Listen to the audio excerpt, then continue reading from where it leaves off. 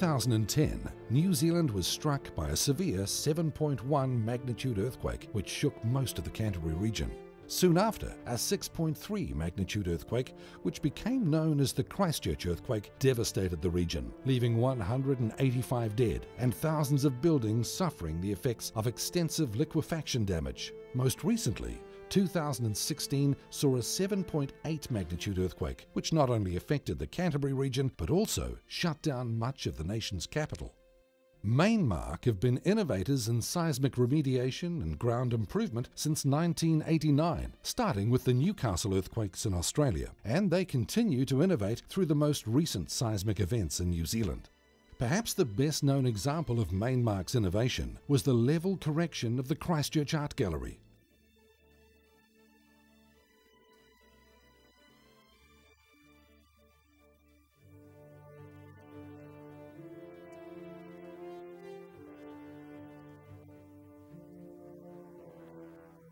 This project involved the development and application of bespoke technologies, which included JOG computer controlled injection and automated robotic monitoring. Mainmark have achieved a lot of innovation through collaboration. So when it came to levelling the Christchurch Art Gallery, Mainmark approached Trimble in search of technology which didn't yet exist in the form that was required for the job.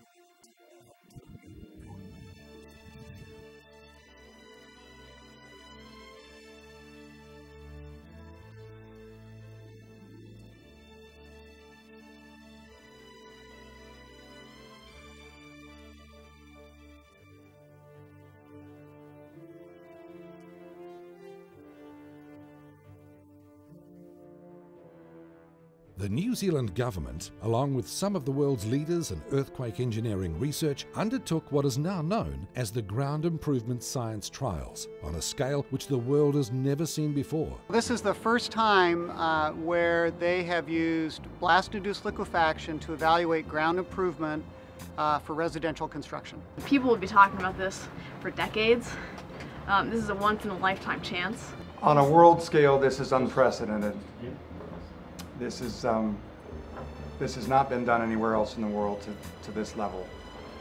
It may not be done again, I would suspect.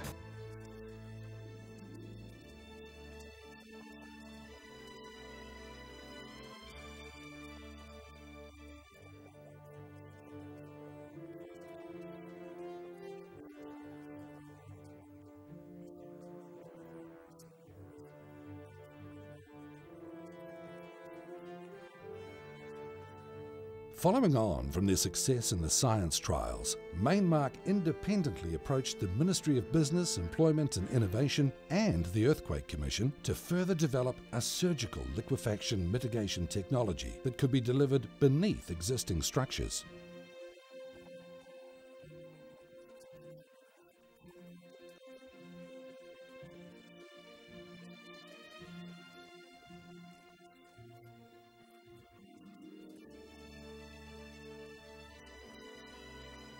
We're here in the Christchurch residential red zone, where over 15,000 houses have been demolished due to the widespread damaging effects of liquefaction. The Christchurch residential red zone spans 630 hectares of land. Once home to thousands, the land has now been deemed unlikely to be rebuilt on due to the extremely high risk of liquefaction in future events. Determined to develop a technology for liquefaction mitigation, Mainmark re entered the red zone to complete further research and testing of a technology for liquefaction mitigation that can be applied beneath existing properties, which are at risk of liquefaction induced damage from future seismic events. Resin injection is a method which has long been used nationally and internationally to lift and re-level structures. Expanding resin mixes are injected at shallow depths beneath a structure, which results in ground heave and building lift. Mainmark hypothesized that this method would also result in densification of the ground. Testing was carried out using production panels to mimic a structure.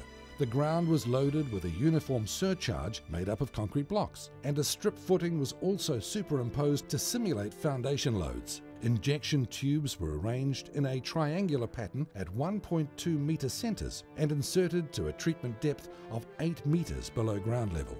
Custom built resin extraction units were connected by hose to mobile plant containers which housed the pumps, power generators, and materials. Extensive pre and post ground investigations consisted of geophysical testing, which included cone penetration testing, cross hole shear wave velocity testing, and seismic dilatometer testing. Each of these tests were carried out within the treatment zone and a further two metres below the ground improvement zone so that Mainmark could determine the effect of the injections and the associated results at increasing depths. The final stage of testing was hydro excavation, which allowed Mainmark to see the final structure of the injected resin, which were then 3D scanned in order to find approximate volume replacement ratio of the resin. A total of five test panels were conducted, and all of the results showed significant improvement in ground density and stiffness, greatly reduced surface damage potential, and an improvement in static bearing capacity. Results from their series of testing proved that this technology could be delivered beneath an existing structure and had opened up a lot more opportunities for Mainmark to innovate further, as well as providing engineers with a new tool for liquefaction mitigation. Now that their research has been internationally peer reviewed, Mainmark are now able to present a series of papers nationally and internationally sharing their findings with the engineering community, starting with the 2017 New Zealand Society of Earthquake Engineering Conference in New Zealand.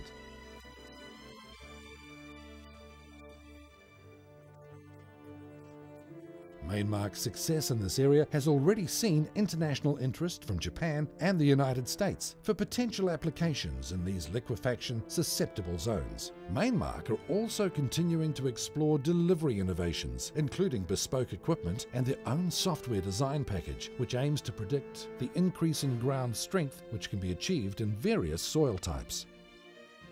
Taking their science to the real world, Mainmark undertook and successfully completed its first large scale liquefaction mitigation project beneath a large retail complex in Christchurch. Northwood Supercentre was a large scale seismic retrofit project which involved both structural and geotechnical technologies to bring it back to 100% of a new building standard. So my role was to, one, get capital approved and have a repair methodology approved um, by the fund, which is managed by AMP Capital but owned by Canadian Life Pension Funds, and then to take that and progress it through to completion. The first scheme that was proposed was demolition and rebuild. There were talk of repair methodologies, and the first one that was actually discussed was piling. And the issue with piling was that we had to vacate the tenancies, but it would have still been enormously invasive. We have three operating, fully established tenants in that space, one of them being a supermarket, um, which is an anchor tenancy to that site and being able to take that out of play for a, a, considerable period was not really seen as being advantageous. Trying to repair, uh, you know, like a building and keep the tenants operational, we would have seen that to being almost impossible. Resin was injected to 8 metres below ground level beneath load-bearing walls and 4 metres below ground level beneath floor slabs. Being a large structure, over 3,000 injection points in total were required for the project, and Mainmark's work was carried out outside of business hours to reduce interruption and prevent loss of income to the tenants and asset owner. Equipment, machinery, and data logging systems were bespoke creations for this project, some of which required up to eight months of research and development before starting the project.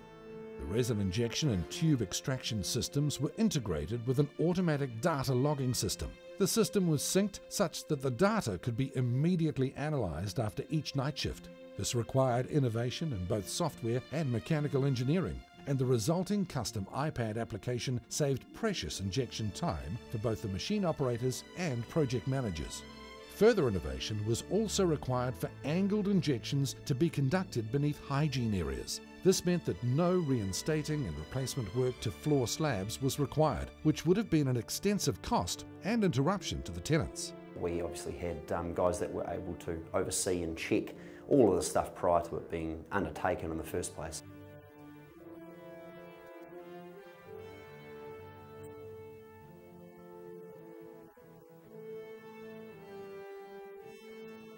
And their technology was able to, um, to monitor that to pinpoint accuracy.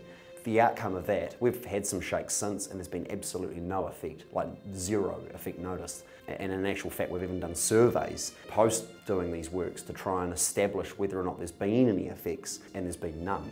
So we would suspect that even our own due diligence of what's been done, we think that that evidence is um, suggesting that that work has done something more than what we'd expected.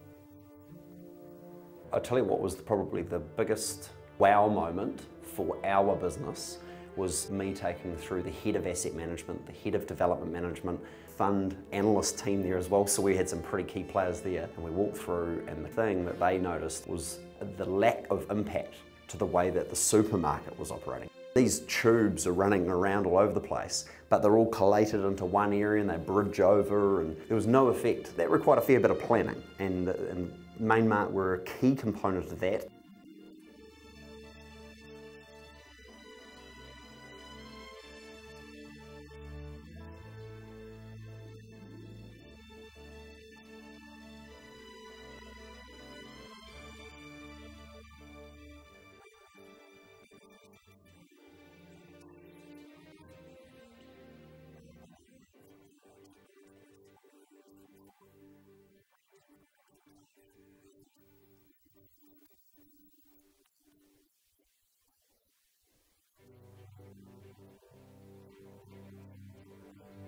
A lot of the tenants now very much realise that these buildings, some of them aren't 100% NBS and they wanting to know explicitly what those numbers are so that they can give full comfort to not only the staff but also uh, I guess the public about the way in which that building would perform in a potential earthquake. So from our perspective, our target was always going to be 100% because we weren't going to go into this building and into this sort of repair without coming out as best we can possibly be. That again gave our structural engineer a lot of confidence at the end being able to say, you know, hey, look, our structure's fine, but we know we don't necessarily have these liquefaction effects, or that we've at least mitigated at best all of them, um, or as much as we can, and therefore that, that building is rated 100% NBS, and that's been reflected post that by our tenants being charged the rents for a 100% NBS building, which is something that our, our fund manager and our property managers are very, very happy with.